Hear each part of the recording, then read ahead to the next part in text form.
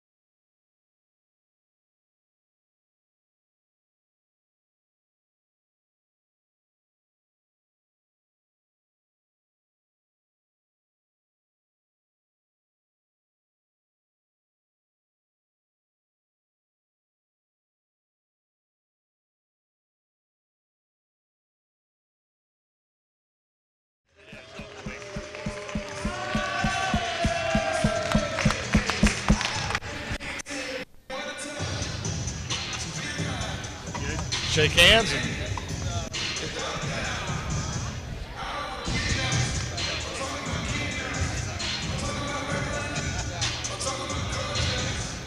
All righty, congratulations, Sam and Alex. Good job. Next up is girls soccer and Brooklyn Barnett.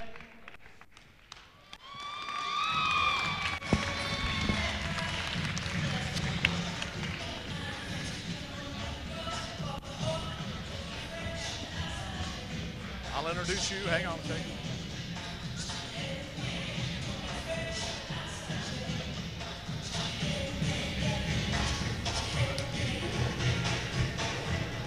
Introducing Brooklyn will be Coach Person. All right, so anybody who watched Brooklyn's first game her freshman year at the Platte County tournament would be shocked to know that she's actually signed today because she got face planted, snipered with nobody around her. But she has come a long way in her career, blossoming into the leader, the, the player that she is today. Uh, her leadership is unquestioned. There aren't a whole lot of stats. It's not a, where she plays is not the, the high glamour position. Center back, she's given a gift every day, and that's the zero on the scoreboard, and that's her job. Last year we had the highest number of shutouts. She anchored the defense with the highest number of shutouts a year ago, led us to our first conference title. Um, and even on evenings when maybe the, it's not going all our way, she works extremely tirelessly to pull her teammates up and lead them along the way. She is a, a two sport letter winner. She's a leader in both programs. I couldn't be happier for her.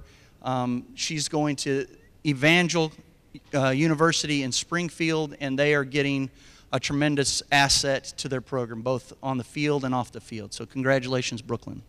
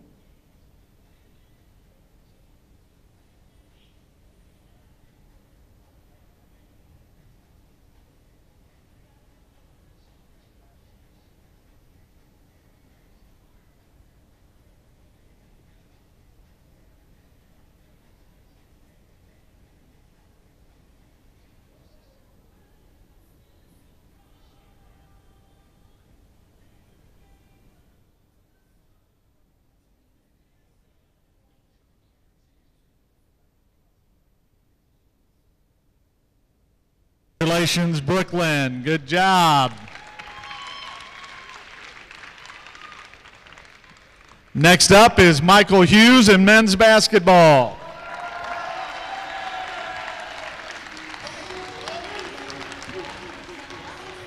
Coach Chris McCabe to handle the introduction.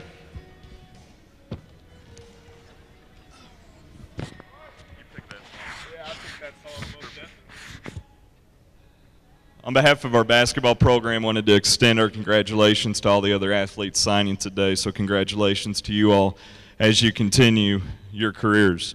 Get an opportunity to recognize Michael, who a lot of you have been able to see on the floor over the last three years. Uh, some neat things to talk about with Michael. Michael's played in 71 games here over the course of his three years. He's won 48 of those. He's a 68% winning percentage here. He has 810 rebounds 11 and a half a game, number one in our career record books.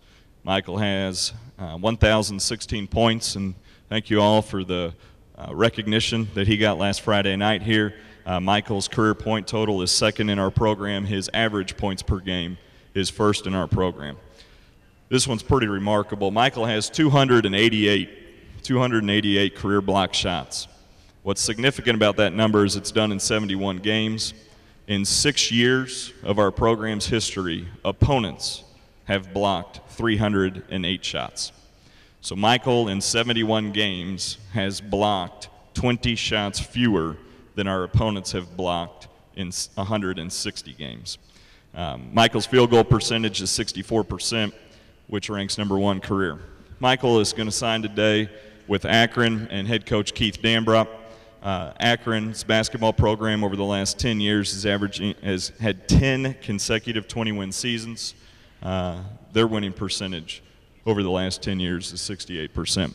He's going from a program to another one that he's going to be able to contribute.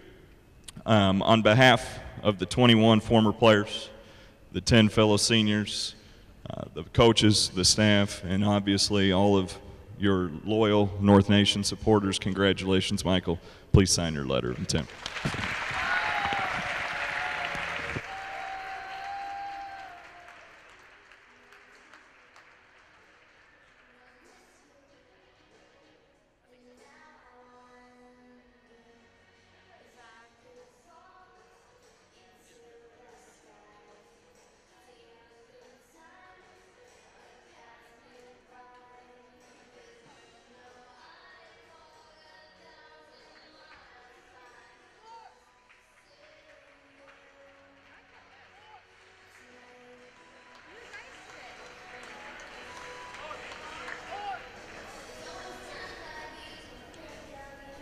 Congratulations, Michael. Next up is women's volleyball and Alina Adams. Come on over.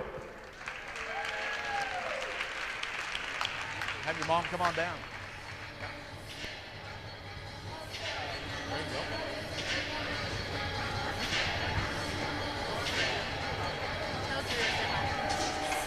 To introduce volleyball is head volleyball coach Jeff Fogel. Guys, a couple years ago, um, talked with Coach Clemens when we got here. In the years I've known him, he's always been real good about promoting the multi-sport athletes. And he said, "Hey, we got this young lady that we kind of want you to have a look at, and uh, she's been a ballerina, been a ballet dancer for for years." And so we kind of talked her into coming out, and the first thing she did on the first day was stand underneath a basketball rim, and she jumped up and touched the rim.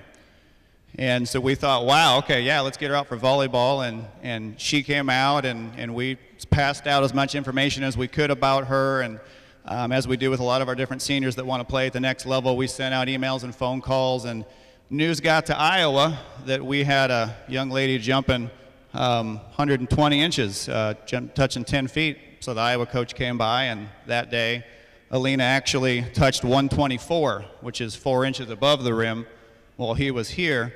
Now, she was shortly outdone by her dad, who went 10 6 in jeans. Um, if you guys have ever seen Alina's dad, his physique probably reminds you a lot of myself when you guys first see him.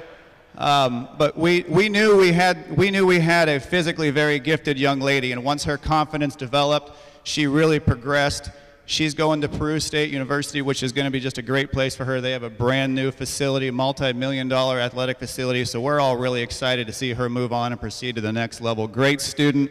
Um, we're looking forward to seeing her progress. Happy to be along for the ride. Alina, go ahead and sign your letter.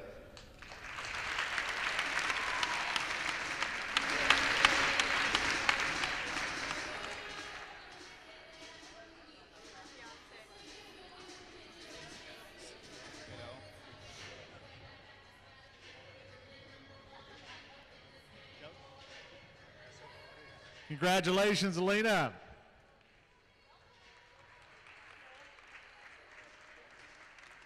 Next up is women's softball. So come on down, parents.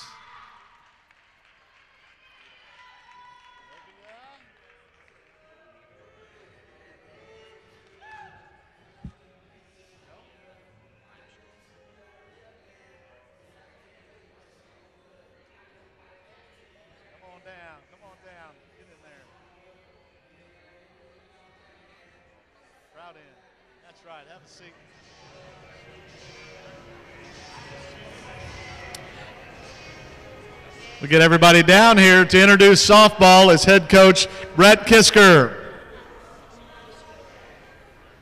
Good afternoon, everybody. Uh, before we begin, I just want to say, I mean, this this is a great picture here because it shows you how much the family matters to us. Um, and I know that that's a lot, a lot the same in, in our programs here and in our school. But um, but the family support that we get here is, is second to none, and, and we just really really appreciate that. Um, we have three fine ladies here signing to play softball at the next level. Um, I have a ton of statistics I could go all day on, um, but just a few things that I want to talk about w- with these girls. Um, team wise, uh, these girls were, were, leaders on a team that went 51 and 10 over the past two seasons, and in fact, over the course of their career, they were 85 and 30. That's pretty remarkable. Um, I did not figure out the, the winning percentage there. Uh, McCabe, you can work on that for me. Okay. Um, they've been part of two uh, district teams, uh, district championship teams, two-time conference championships. We won sectionals um, in their junior year and uh, and lost in the state quarterfinals. They have set over the last two years 13 possible state records. We're not sure which of those will actually stick. Um, we've submitted those and we're waiting to find out. Um, that's combined between team and individual records that have been uh, you know, submitted over the course of, of, many, many years. So that's pretty remarkable. Um, Leah specifically, Leah Thorne, uh, was a four-time All-Conference champion, uh, four-time All-Conference player for us. She hit 372 this last season, scored 25 runs, hit 538 with runners in scoring position, so very clutch for us. Um, and uh, really was the ultimate utility player for us. Moved around to like 15 different positions on the field, I think, um, and played all of them well. And uh, I also learned later uh, than I should have that I should have let her run conditioning for us um, at practices. That would have been great. She's going on to play at Westminster College next year um, down in central Missouri. Um, Kelsey Runge. Kelsey Runge is a two time All State outfielder for us. She's three time All Region, three time All District, four time All Conference. Um, has hit 400 in the last couple of seasons, well over 400. Didn't make any errors in the field um, on top of all the offensive stats that I could go list off. Um, perhaps my, my favorite story about Kelsey is just when we sat down and, uh, and um, talked about positions and where, where we were going to have her play. And, uh, and she, she'd earned a spot on the field and um, but I wasn't for sure if that was going to be what was going to be best for the team. And so I asked her if it would be possible to move her to the outfield, and she said, "Coach, I just want to win." And uh, when you hear that as a coach, that's really that's really meaningful because it, it knows, you know, it gives me the, the confidence to go out and move girls around, knowing that I'm going to have her support. And we rattled off 20 wins after we made that move, um, 20 wins in a row, uh, which is pretty remarkable in a, in a 30 game season. Um, Kelsey's going on to Benedictine College next year, and she'll continue her career there. Olivia Prather, uh, two time All State pitcher, three time All Region, three time All District, four time All Conference. She hit over 500 this season, um, 6'11 with runners in scoring position. All three of these girls provided many, many of the runs uh, that we scored as a team. Um, in fact, she's, uh, she's also won 38 games as a pitcher in the last two years. She's 38 and, uh, I, didn't, I, didn't, add it up, 38 and 7, I think, over the last two seasons. Does that sound right? Um, she had over 155 strikeouts and 137 innings pitched this year. So she was averaging, if all of our games were seven innings apiece, she was averaging about eight strikeouts per game. Um, that's almost 40% of the outs that we recorded over the, the course of the season. Um, 51, 1, 2, 3 innings. I thought that was an interesting stat, too. 51 times that we came up and the, and the, the opponents just went down 1, 2, 3. Um, she's going on to Northeastern Oklahoma A&M. Uh, going to play with some family down there. So that's pretty cool. That'll be a fun time. Um, overall, just my first two seasons as a head coach here, um, I can't be uh, more thankful for these girls and the support that they've offered. And of course, it's nice to win and to have talent, and they've uh, they've definitely provided that. Um, and, and so grateful to have them. And uh, congratulations, girls, and go ahead and sign your letters of intent.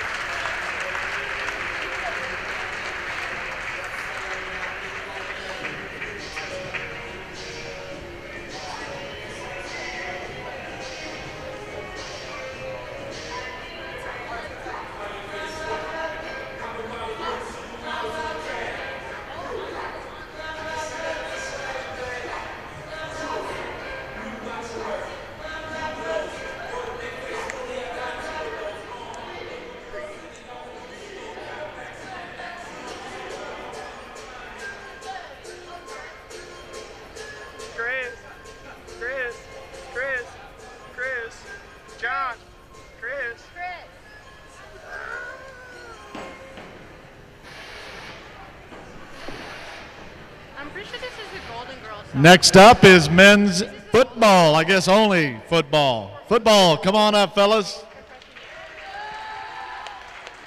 Parents and coaches, come on down.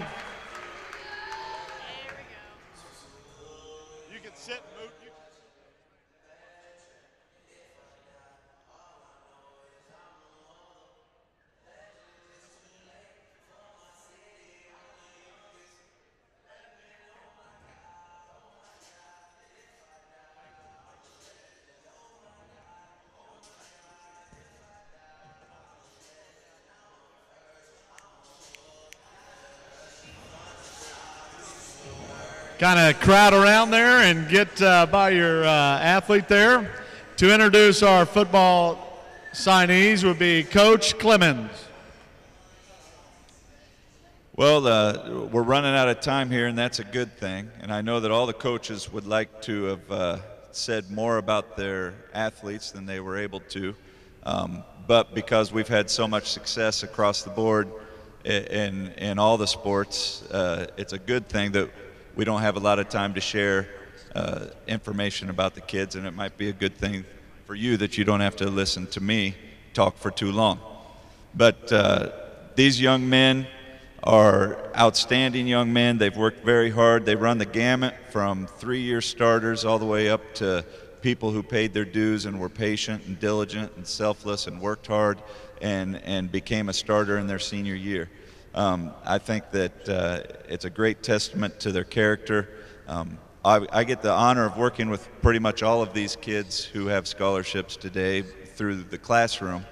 And uh, talent is one thing that, that binds them together, but more importantly, uh, what all these young people have done is, is they've all been respectful, good students who've worked hard, diligently, and done everything they've been asked to do, and, and the result is the success you know, and these are these are six of our guys who who've who've achieved that success.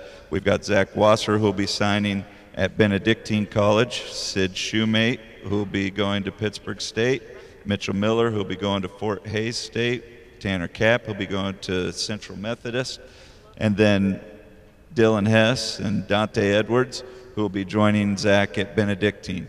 Um, I am uh, I am proud to have to have coached these guys. Um, you know, I'm I'm humbled by their their work ethic. I'm humbled by their unselfishness, by their patience, by their ability to to continue to come back through all the struggles, all the good times, and all the bad times, and still be the same hardworking young men that they are. Um, it's a testament to great parents. Obviously, behind every great kid is great parents. I'd like to thank the parents and and uh, congratulate all of you on your scholarships this year.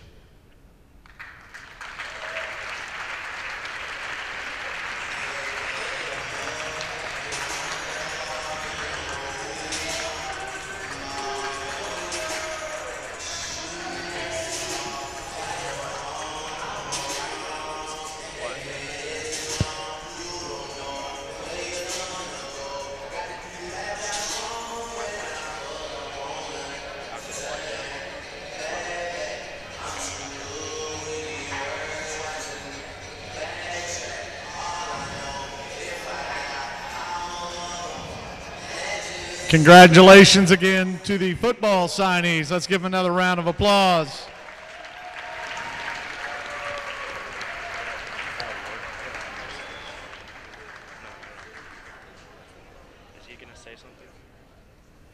Just a little housekeeping. Athletes, don't go anywhere. We want a group picture before you leave, and I'm sure parents will want to get pictures of that. So after we are finished, we'll uh, get a picture around the scorers table here. We'll get uh, formed up that way. Thanks for coming, everybody, and uh, this is always a great time to celebrate the hard work and dedication you, as parents, also put in to your son and daughter. We look forward to that. We will have another signing ceremony in May for the rest of the Eagles that earn those scholarships. So have a great day, and again, thanks for coming.